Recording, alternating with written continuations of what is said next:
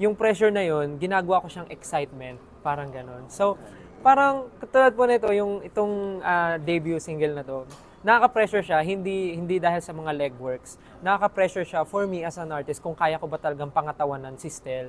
But tinurn ko nga po siya into positivity na naisip ko, oo, kaya na yan. Kasi nga, kung kaya ko na with my with my brothers SB19, nakakapag solo-solo engagement na rin ako with the events. Feeling ko kaya ko na rin, with the help of them also, na sila yung nag insist na hindi, still dapat mag-release ka ng solo mo. So, hindi ko na feel yung pressure dahil din sa kanila. Ah, so, gaano kalaki yung tulong ng mga brothers mo dito? Sobra. Si Pablo po ang tumulong sa akin dito sa song. Siya yung gumawa, sila ng kapatid niya.